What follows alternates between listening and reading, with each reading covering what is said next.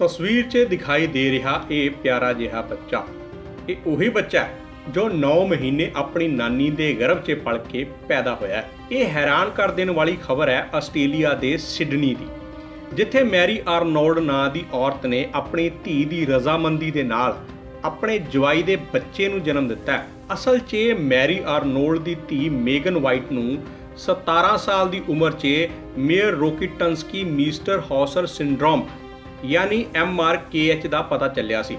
ਇਹ ਇੱਕ ਤਰ੍ਹਾਂ ਦਾ ਡਿਸਆਰਡਰ ਮਤਲਬ ਵਿਕਾਰ ਹੁੰਦਾ ਹੈ, ਜਿਸ ਕਾਰਨ ਮੇਗਨ ਦਾ ਜਨਮ ਬਿਨਾਂ ਯੂਟਰਸ ਦੇ ਹੀ ਹੋਇਆ ਸੀ ਅਤੇ ਉਹ ਕਦੇ ਮਾਂ ਨਹੀਂ ਸੀ ਬਣ ਸਕਦੀ। ਪਰ ਸਿਰਫ ਸਰੋਗੇਟ ਮਦਰ ਦੀ ਮਦਦ ਨਾਲ ਬਾਇਓਲੋਜੀਕਲ ਮਾਂ ਬਣ ਸਕਦੀ ਸੀ। ਧੀ ਲਈ ਮਾਂ ਬਣੀ ਸਰੋਗੇਟ ਮਦਰ 54 ਸਾਲ ਦੀ ਮੈਰੀ ਨੂੰ ਪਤਾ ਸੀ ਕਿ ਉਸ ਦੀ ਧੀ ਕਦੇ ਮਾਂ ਨਹੀਂ ਬਣ ਸਕਦੀ। ਇਸ ਮਗਰੋਂ ਉਸ ਨੇ ਆਪਣੀ ਧੀ ਲਈ ਸਰੋਗੇਟ ਮਦਰ ਬਣਨ ਦਾ ਫੈਸਲਾ ਲਿਆ। ਹਾਲਾਂਕਿ ਮੈਰੀ ਤੋਂ ਪਹਿਲਾਂ ਵੀ ਕੈਨੇਡਾ ਦੀ ਇੱਕ ਔਰਤ ਮੇਗਨ ਲਈ ਸਰੋਗੇਟ ਮਦਰ ਬਣੀ ਸੀ, ਪਰ ਗਰਭ ਅਵਸਥਾ ਦੇ 21ਵੇਂ ਹਫ਼ਤੇ 'ਚ ਹੀ ਬੱਚੇ ਦੀ ਪੇਟ 'ਚ ਹੀ ਮੌਤ ਹੋ ਗਈ ਸੀ।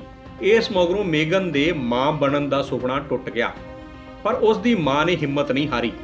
ਜਿਵੇਂ ਕਿ ਕਾਫੀ ਅਧਿਐਨ ਤੋਂ ਬਾਅਦ ਮੇਗਨ ਦੀ ਮਾਂ ਨੂੰ ਇਸ ਬਾਰੇ ਪਤਾ ਚੱਲਿਆ ਕਿ ਉਹ ਖੁਦ ਵੀ ਆਪਣੀ ਧੀ ਲਈ ਸਰੋਗੇਟ ਮਦਰ ਬਣ ਸਕਦੀ ਹੈ। ਜਿਸ ਦੇ ਚਲਦਿਆਂ ਪਿਛਲੇ ਹਫ਼ਤੇ ਮੈਰੀ ਨੇ ਆਪਰੇਸ਼ਨ ਜ਼ਰੀਏ ਆਪਣੇ ਦੋਤੇ ਵਿੰਸਟਨ ਨੂੰ ਜਨਮ ਦਿੱਤਾ।